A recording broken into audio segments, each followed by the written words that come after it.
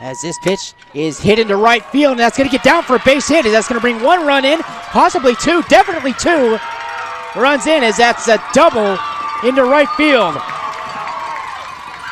Before Parker, excuse me, Rodriguez